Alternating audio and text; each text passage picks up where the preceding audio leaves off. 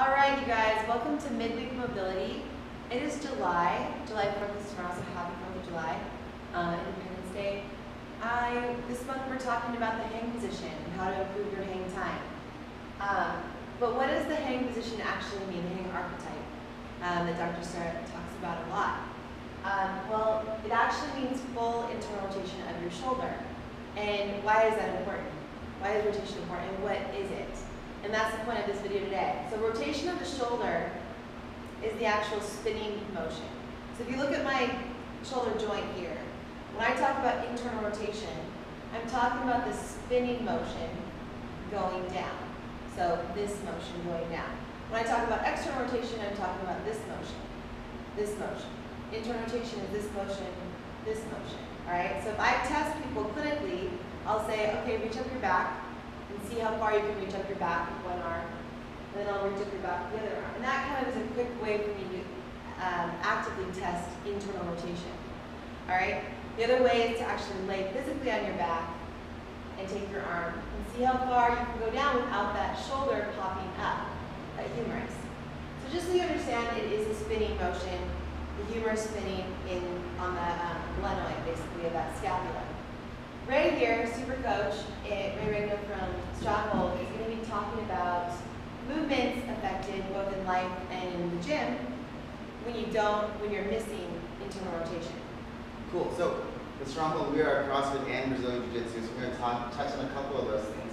The first thing in Olympic lifts, which is one of my favorite things, is one thing we'll see in Olympic lifts is when you're in the top of that finished position, a lot of guys that are missing internal rotation will end up with this janky position here at the top. And what we'll see sometimes in the clean is that when they try to turn that uh, those elbows over, they end up having a bicep curled over and not able to keep the barbell close to the body, as Coach Burgener teaches us.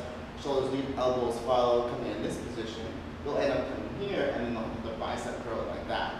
We'll also see in the front rack position when they receive the bar that their shoulders are, I don't know, even know if I can do it, but the shoulder will come in and kind of be in this weird position. They can't get this nice elbows up and out position, which is what we want for a stable rack. In the overhead squat, what's strange, strange enough is that if you're missing internal rotation, you're actually going to also miss external. So you have guys overhead squatting like this. And so improving that internal rotation of that shoulder will actually help you improve this armpit forward position, which, which is what we want in the overhead squat. Um, kicking pull-ups too, you'll see people when they're doing pull-ups, as they're coming down the front, the front of that kick, their elbows will turn in this way, which is not a good position for that shoulder. Um, already talked about the front rack in Jiu-Jitsu. One of the really basic submissions is the Kimura, and all we're doing is we're testing that internal rotation. So basically right here, if you do Jiu-Jitsu, if you have good internal rotation, you won't have to tap as soon because you can actually let that arm go farther down. If you have full range, you get to here before you have to um, submit that movement. So there's a couple of places where lack of internal rotation is going to affect your, um, your movement or the, whatever sport you're playing. Awesome, thank you, Ray. And you mind laying down the ground with it? I'm just going to show you guys of what we teach in Mobility WOD. Um, is that ways you guys not only reach up your back, but ways to test it is have a partner put their hand on the top of your shoulder joint and take their hand down. Um, and where I start feeling the shoulder pop up is where I know their end range, end, end range is. So ideally, I want the hand almost to the ground, almost to the deck, right? So Ray has pretty good internal rotation on this left side.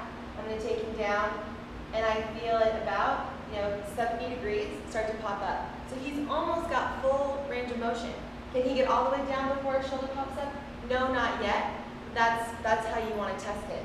Um, and then what does this look like? This looks like, you know, the second to third pull in a, in a little lift when he was talking about the overhead position, if your internal rotators, which include your lat, your pec, your subscap, are tight, do you think they're going to be able to hold your, do you think you're going to be able to keep your arm in a full, um, in full range of motion overhead, full external rotation, if the opposite muscles are tight? No, do you think you can really activate your glutes when you're, the front of your hips are tight? No, it's the same concept here. So what I want, what I would want you guys to do um, is actually mobilize, so some moves in there you, right? Uh, and Ray, you know, he's a mobilizing phenom.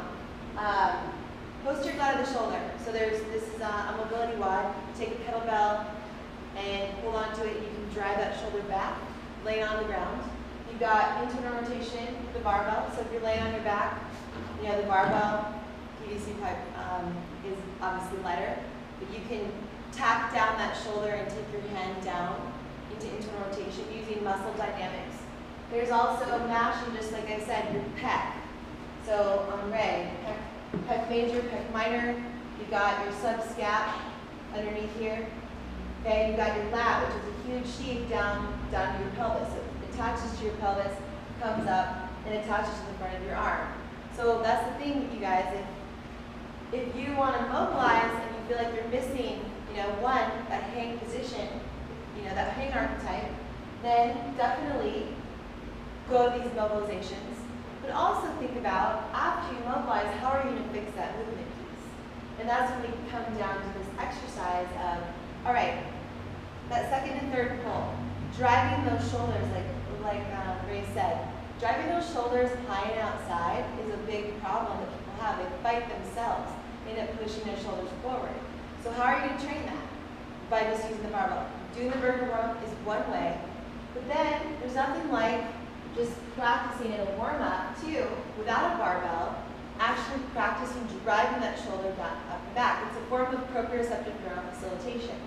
So you're going to take your hand in a, in a relatively lighter band, put that leg, you know, same leg back, and you're going to let, you know, keep your arm externally rotated and drive that shoulder up and back behind your ear.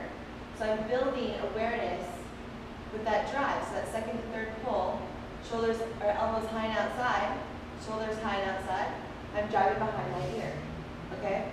So you guys can do that, you know, give it roughly 10 reps, four to five sets. Just it's nothing, it's not supposed to fatigue you, it's more to build um, again, kinesthetic awareness. Now, the things that could go wrong, so here's the thing, like you're gonna notice in your lips, like, oh yeah, I uh, I feel like you know my shoulders are forward, I feel like I'm fighting myself in the Olympic lifts. Wow, I'm getting a little bicep, you know, front of the shoulder pain. Well, those things, you know, consider those warnings for you, right? Bicep tendon, posterior cuff tightness, um, anterior to posterior instability can come out when you don't have a good hang position and you're pushing yourself to the limit in the gym. So you don't think you can get away it does over time. It will affect you. It'll put stresses on tissues that don't need that stress. Um, and here's the other thing, you guys: the postures that you hold during the day at work, like forward head posture. What do you think happens to your shoulders when you have that forward head posture? Your shoulders want to round forward. Um, and is you know we can talk about sitting posture all the time and standing, but it does matter. So those tissues attached to your neck also attach to the top of your shoulder. So you want to be aware of your posture and sitting during the day. Do those chin tucks backwards to help build better awareness in your spine, in your neck, because your neck will affect your shoulder. Um, and also another movement you can do for good, you know, shoulder overhead mobility as well as hang is the first move.